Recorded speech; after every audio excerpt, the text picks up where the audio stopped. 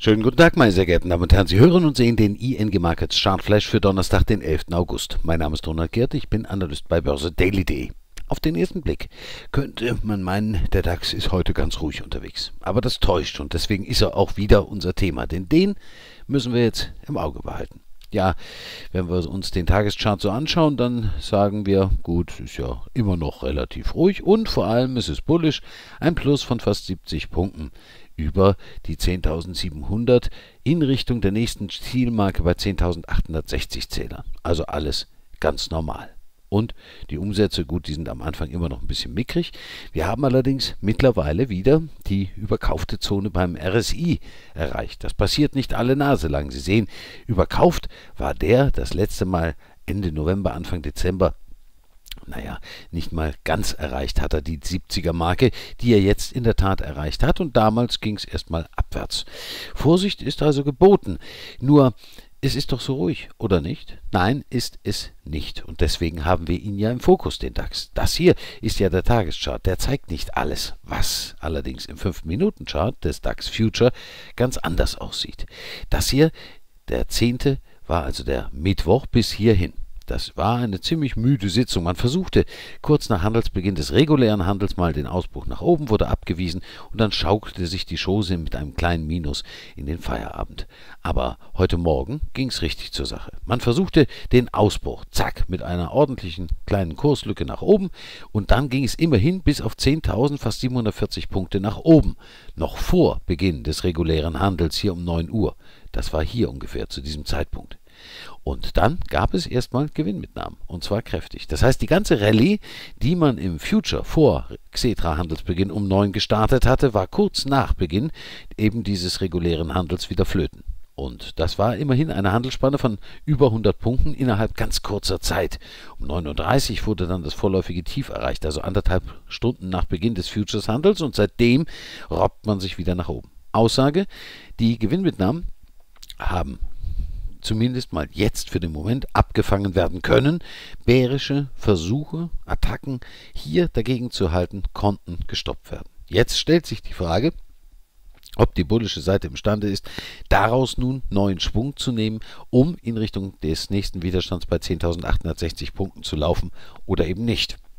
Das wird auch von der Wall Street abhängen. Die hat nach wie vor nicht mitgezogen. Weder am Dienstag noch am Mittwoch. Stellt sich also die Frage, ob es heute gelingt. Und wie tragfähig das Ganze ist. Denn das wird auch davon abhängen, wie es morgen früh in den Handel losgeht. Morgen am Freitag. Da gibt es zwar keine weltbewegenden US-Daten, wie es sie letzte Woche in Form der Arbeitsmarktdaten gab, aber es kommen Daten aus China. Einzelhandelsumsatz, Industrieproduktion, Investitionsausgaben für den Juli. Das sind wichtige Daten. Und die können nicht nur den chinesischen, sondern eben auch den gesamten Aktienmarkt deutlich mit beeinflussen, je nachdem, ob sie gut oder schlecht ausfallen. Das ist quasi eine Wildcard, denn die kommen am frühen Morgen und sind dementsprechend, ja, eigentlich als Vorlage dann eben schon da, wenn man um neun in den regulären Handel startet. Und das kann eben schon zu einer Kurslücke nach oben oder unten führen. So ganz in Stein gemeißelt ist die ganze Geschichte also nicht. Zumal, und den nehmen wir wieder mal auf den Schirm, den können wir nicht außer Acht lassen, der Eurostox 50 immer noch nicht an seiner 200-Tage-Linie vorbeigekommen ist. Für den DAX ja eine Geschichte, die quasi Geschichte ist. Nämlich, der hat eben diese 200-Tage-Linie bei 10.080 Punkten ja unlängst verteidigt und ist seitdem deutlich nach oben gelaufen. Der Eurostox 50 nicht. Der hängt ja schon seit einiger Zeit hinterher und nun, jetzt geht es um diesen Widerstand bei 3052 Punkten. Wir haben im Hoch 3040 erreicht, ist also nur noch ein Katzensprung bis zu dieser Marke.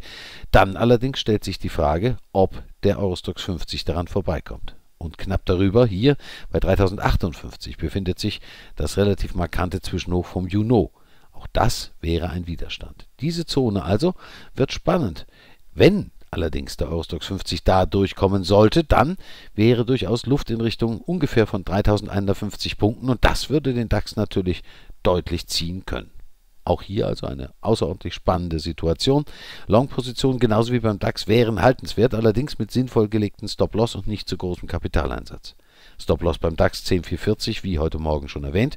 Und äh, beim Eurostox 50 bleibt es im Augenblick noch bei 2960 Punkten. Erst wenn diese 200-Tage-Linie genommen würde, könnte man den Stop-Loss von dieser Zone hier und damit knapp unterhalb der 20-Tage-Linie ein gutes Stück nach oben nehmen. Die anderen Assets sind im Augenblick relativ friedlich. Der Euro-Dollar-Kurs kommt wieder etwas zurück. Allerdings ist nach wie vor offen, was daraus werden soll. Das ist schon ein nervtötendes Seitwärtsgeschaukel, eigentlich ja schon seit März 2015. Und dieses Schwanken um die 20 und 200 Tage Linie und um die Zone 1.1030, 1.11, in der beide Linien momentan gefangen sind, das ist letzten Endes keine klare Vorgabe, weder für die Exporteure aus den USA, für die ein schwacher Dollar erfreulich wäre, noch für die Europäer, für die ein schwacher Euro ein Vorteil darstellen würde. Und Gold, naja, da tut sich ebenso im Moment wenig. Der Versuch, sich nach oben abzusetzen, nachdem es gelungen war, die 20-Tage-Linie zu verteidigen und der Versuch, damit auch die äh, Anfang Juni etablierte Aufwärtstrendlinie zurückzuerobern, wurde am gestrigen Mittwoch erst einmal abgefangen. Ein Plus blieb es, aber dieser kräftige Anstieg ist erstmal Geschichte und jetzt hängt man mal wieder fest zwischen Baum und Borke, zwischen 20-Tage-Linie und eben dieser Aufwärtstrendlinie warten wir es mal ab, wie sich das da dann entscheidet, wie sich das entwickelt. Denn letzten Endes ist natürlich der sogenannte sichere Hafen Gold ebenso wie der Anleihenmarkt ein interessantes Zeichen dafür, ob man mittlerweile wirklich die Nerven wieder hat, am Aktienmarkt ansteigende Kurse zu glauben. Dann würden eben diese sicheren Häfen tendenziell schwächer werden. Noch haben wir da keine klare Vorgabe, aber das wird ebenfalls eine spannende Geschichte werden für die kommenden Tage. Schauen Sie also wieder rein. Wir schauen morgen früh auf den gesamten heutigen Handel inklusive Wall Street in der nächsten Ausgabe des Morning Call und der Morning Mail. Und der nächste ING Markets Chartflash kommt wie gewohnt auch morgen Mittag um 1. Bis dahin schönen Donnerstag und machen Sie es gut.